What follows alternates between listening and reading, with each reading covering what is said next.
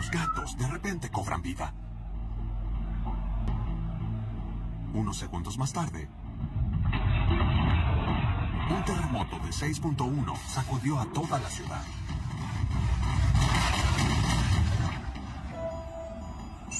Sorprendentemente, los gatos de la cafetería sabían que algo venía.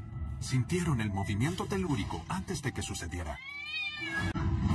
Entonces, ¿cómo detectan los gatos los terremotos? Hay más de 500 millones de ellos y han estado viviendo con nosotros y en su mayoría ignorándonos por casi 10.000 años.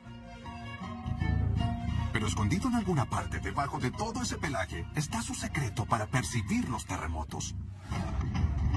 Los terremotos son el taladro de la naturaleza, capaz de sacudir roca sólida como gelatina. Los seres humanos han invertido miles de millones en sistemas de detectores sísmicos, esperando alertas tempranas de sismos inminentes. Momentos antes de que la Tierra tiemble, un terremoto emite una primera onda de energía llamada onda P. Los humanos no pueden escucharla, pero los gatos sí. Y a partir de cualquier ruido leve, como el retumbar distante de un terremoto, también pueden sentir la dirección de la que proviene, gracias a su sensible sistema auditivo. La parte externa de la oreja del gato se llama pina. Con 32 músculos en este oído externo, en comparación con nuestros 6, los gatos pueden girar sus orejas 180 grados, como una antena parabólica felina, identificando el sonido más leve. Su brillante biología también significa que pueden escuchar una gama mucho más amplia de frecuencias que los humanos. En la base de sus orejas, los gatos tienen una bolsa llamada el bolsillo de Henry. Se cree que esto enfoca los sonidos de alta frecuencia en un canal auditivo alargado y un tímpano muy afinado.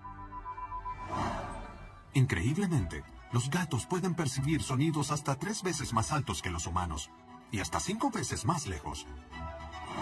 Y los gatos no están solos en su capacidad de predecir desastres naturales. En Indonesia, las grandes orejas de los elefantes hicieron que corrieran hacia un lugar más alto antes de que un tsunami golpeara la costa. Y las serpientes actúan como detectores biológicos de terremotos, sintiendo pequeños estruendos en sus estómagos. Entonces, no necesitan millones de dólares en tecnología para detectar terremotos. Solo necesitan un gato muy sensible.